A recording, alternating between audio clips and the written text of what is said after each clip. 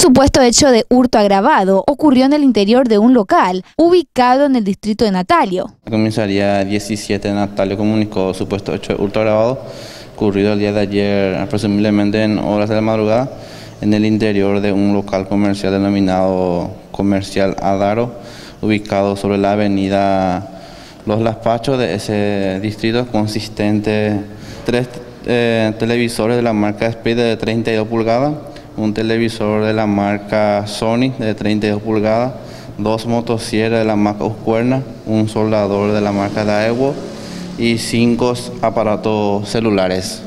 Eh, circuito cerrado cuenta este local, ¿cómo se percataron del hecho? Supongo justamente que al llegar al lugar vieron que estaba violentado el acceso, ¿no?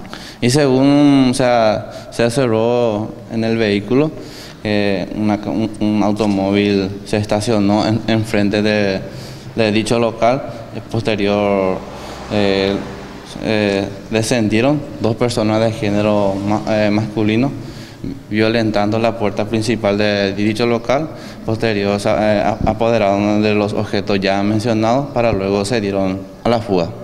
Hasta ahora, paradero desconocido de estos maleantes. Sí, así mismo el comisario Susa se encuentra eh, investigando el hecho. La víctima de nombre eh, Blas Flores no, no, no especificó la, el valor de los objetos y también personal de investigaciones eh, también se encuentra en el lugar, tienen ya en su poder eh, la grabación del video. Ah, Los objetos reportados como hurtados fueron seis televisores de diferentes pulgadas y marcas, dos motosierras, un soldador y cinco aparatos celulares de la marca Samsung.